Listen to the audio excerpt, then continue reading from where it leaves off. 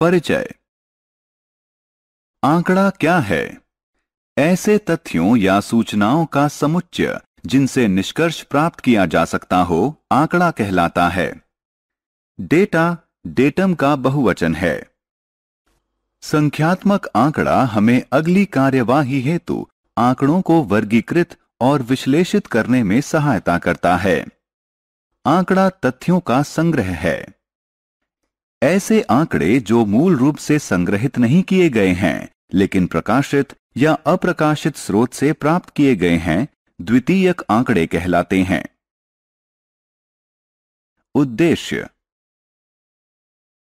इस पाठ के अंत में आप निम्न करने में सक्षम हो जाएँगे। आंकड़ों और इसके प्रकारों की पहचान करना। वर्ग अंतरालों और इसके प्रकारों की पहचान करना। आयत चित्र को हल करना। वृत्त रेखा चित्र को हल करना। प्रायिकता को हल करना।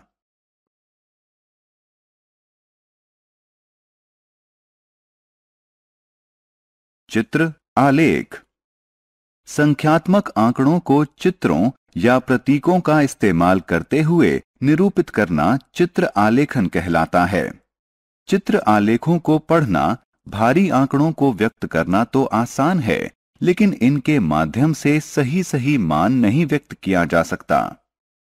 यह एक कॉलोनी के लोगों द्वारा चुने गए खेल का चित्रात्मक निरूपण है।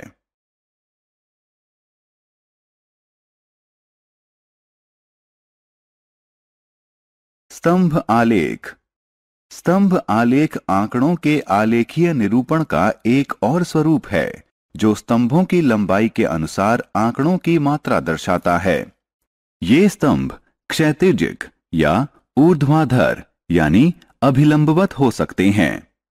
यह स्तंभ आलेख विभिन्न पशुओं की आयु निरूपित करता है। इस स्तंभ आलेख से हम पशुओं की आयु प्राप्त कर सकते हैं।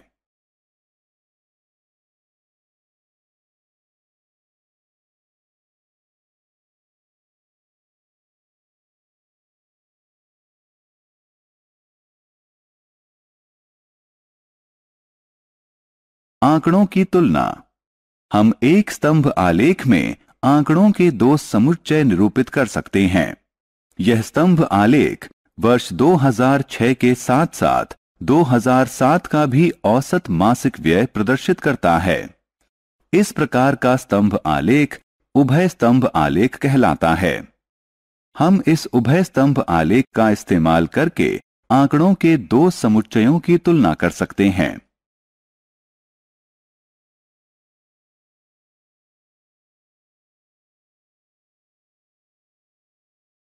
बारंबारता बंटन। आंकड़ों के प्रकार, कच्चे या अपरिष्कृत आंकड़े। कच्चे या अपरिष्कृत आंकड़े प्रारंभिक प्रेक्षणों का संग्रहण होते हैं, जो अव्यवस्थित होता है। इस प्रकार की सूचना हम सर्वेक्षण के दौरान प्राप्त करते हैं। इसे दो प्रकार से वर्गीकृत किया जा सकता है। एक, असतत आंकड़े। दो, सतत आंकड़े। असतत आंकड़े। इस प्रकार के आंकड़े बहुत शुद्ध रूप से पूर्ण संख्याओं में मापे जा सकते हैं। किसी परिवार में बच्चों की संख्या और जूतों के आमाप असतत आंकड़ों के उदाहरण हैं। सतत आंकड़े। इस प्रकार के आंकड़ों में दो पूर्णांकों के मध्य का कोई भी मान हो सकता है, अर्थात इन्हें पूर्ण रूप से सही सही नहीं मापा जा सकता। इनमें कुछ ना कुछ त्रुटि सदैव होगी। किसी कक्षा के छात्रों का भार व किसी नगर का तापमान सतत आंकड़ों के उदाहरण हैं।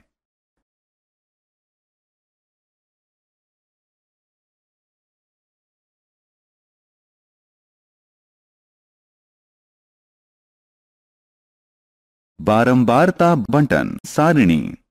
निम्न आंकड़ों को देखें। यह छात्रों द्वारा एक माह में अर्जित ग्रेड के विषय में बताता है।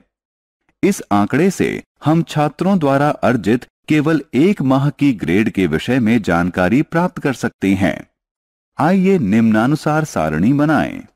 यह सारणी दिए गए आंकड़ों को स्पष्ट रूप से दर्शाती है।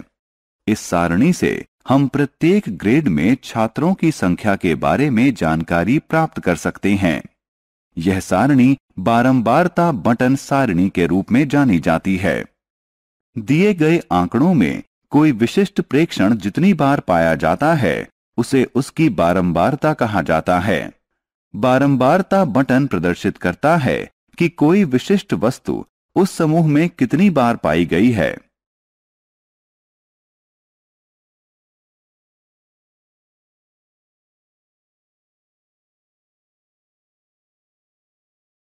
वर्ग अंतरालों के इस्तेमाल वाली बारंबारता बंटन। सारिणी। उदाहरण, एक कक्षा के 30 छात्रों द्वारा गणित के प्राप्तांक निम्न में दिए गए हैं। आंकड़ों को वर्ग अंतराल में समूहित करने से पहले निम्न बिंदुओं पर गौर करना आवश्यक है। एक, जब आप आंकड़ों को वर्ग अंतरालों में समूहित करें तो बटन की परास, यानी रेंज, सर्वाधिक महत्वपूर्ण है। उच्चतम व न्यूनतम प्रेक्षणों का अंतर ज्ञात करें। उच्चतम मान बराबर अट्ठानवे, न्यूनतम मान बराबर तीन, रेंज बराबर पिचानवे। दो, वर्ग अंतरालों की संख्या अत्यधिक नहीं होनी चाहिए और बहुत कम भी नहीं होनी चाहिए। वर्ग अंतरालों की संख्या पाँच से बीस हो सकती है। तीन, आपको उपरोक्त दो कारकों के आधार पर वर्ग अंतरालों की विशालता का चयन करना होगा। आपको यह विशालता चुनते समय बहुत सावधानी बरतनी होगी।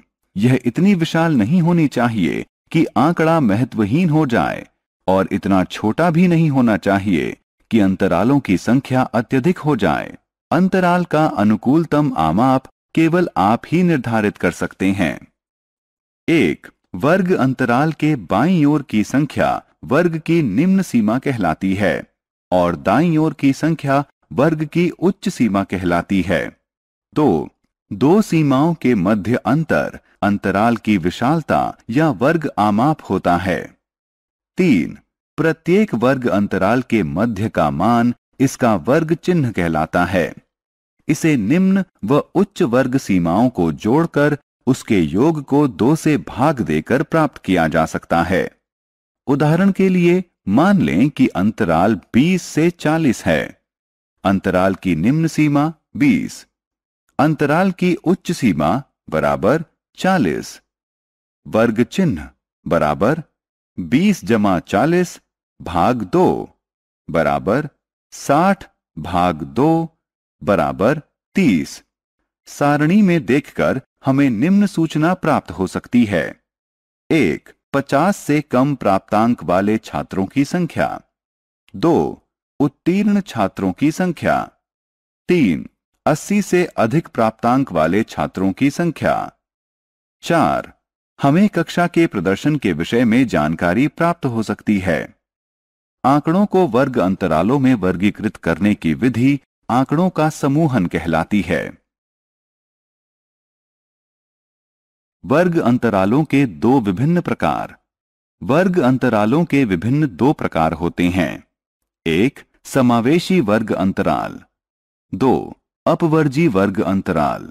शून्य से उन्नीस, बीस से उनतालीस, चालीस से उनसठ और इसी तरह के अन्य वर्ग अंतराल अपवर्जी वर्ग अंतराल कहलाते हैं, क्योंकि पिछले वर्ग की उच्च सीमा और अगले वर्ग की निम्न सीमा भिन्न भिन्न है।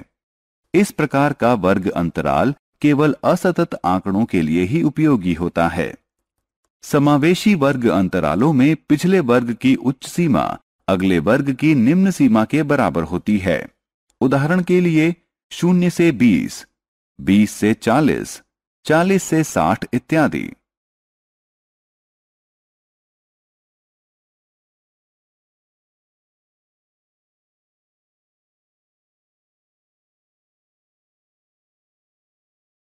आयत चित्र आयत चित्र सतत चर के बारंबारता बटन का आलेखीय निरूपण है।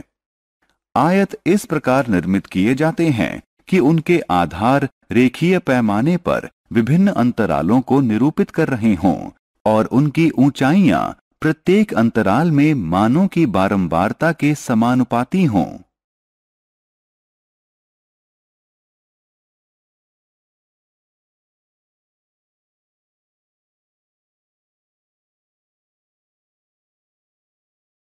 बारंबारता सारणी।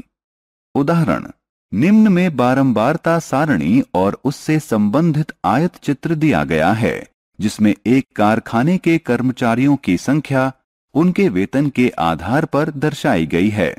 समाधान, बारंबारता सारणी में कारखाने के 100 कर्मचारी उनकी आय स्तर के अनुसार दर्शाए गए हैं। यदि आप उपरोक्त आयत चित्र को ध्यान से देखें तो आप पाएँगे कि एक आयत चित्र स्तंभ आलेख जैसा दिखता है, लेकिन उसमें एक स्तंभ और दूसरे स्तंभ के मध्य कोई रिक्त स्थान नहीं है। दो आयत चित्र का एक शीर्षक है। तीन एक्स अक्ष पर समूहित आंकड़े के वर्ग अंतराल दर्शाए गए हैं। बटन में जो भी दर्शाया गया है, उसे नीचे लिखा भी गया है। चार वाई अक्ष पर प्रत्येक वर्ग अंतराल के लिए बारंबारताएँ दर्शाई गई हैं। पाँच, दोनों अक्षों पर उपयुक्त पैमाने लिए गए हैं। छह, निर्मित आयतों की ऊंचाइयाँ उनके वर्गों की बारंबारता के समानुपाती हैं।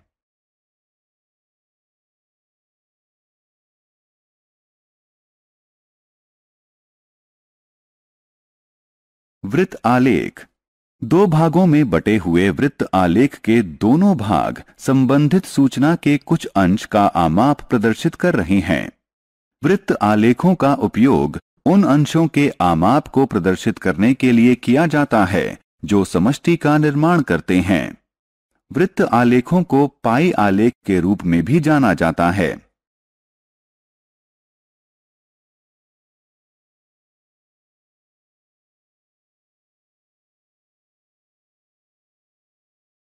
उदाहरण, एक। एक स्कूल के छात्रों के पसंदीदा रंग निम्न सारणी में दिए गए हैं। इनको वृत्त आलेख में निरूपित करने से पहले हमें निम्न कदम उठाने होंगे। एक, समष्टि अंशों को ज्ञात करना। दो, समूहों की संख्या की गणना करना। तीन, ज्ञात करना कि प्रत्येक समूह के किस भिन्न में समष्टि है। चार, केंद्रीय कोण ज्ञात करना और उसी के अनुसार आलेख बनाना। हल, छात्रों की कुल संख्या बराबर 200 समूहों की संख्या बराबर पाँच। लाल रंग पसंद करने वाले छात्रों का भिन्न। सैतीस भाग 200 केंद्रीय कोण, सैतीस भाग 200 गुणा 360 डिग्री बराबर छियासठ दशमलव छह शून्य। हरा रंग पसंद करने वाले छात्रों का भिन्न। 26 भाग 200 केंद्रीय कोण। 26 भाग 200 गुणा 360 डिग्री बराबर छियालीस दशमलव आठ शून्य। नीला रंग पसंद करने वाले छात्रों का भिन्न बराबर 30 भाग 200 केंद्रीय कोण। 30 भाग 200 गुणा 360 डिग्री, बराबर चौवन। पीला रंग पसंद करने वाले छात्रों का भिन्न। उनतालीस भाग 200 केंद्रीय कोण, उनतालीस भाग 200 गुणा 360 डिग्री, बराबर सत्तर दशमलव दो शून्य। गुलाबी रंग पसंद करने वाले छात्रों का भिन्न। बराबर अड़सठ भाग 200 केंद्रीय कोण बराबर अड़सठ भाग 200 गुणा 360 डिग्री बराबर एक सौ बाईस दशमलव चार शून्य। सारांश। आइए जो कुछ हमने सीखा है, उसे संक्षेप में दोहराएँ। वे संग्रहित प्रेक्षण जो व्यवस्थित न किए गए हों, कच्चे आंकड़े कहलाते हैं। किसी आंकड़े में उच्चतम प्रेक्षण और न्यूनतम प्रेक्षण के मध्य अंतर को आंकड़ों की रेंज कहा जाता है।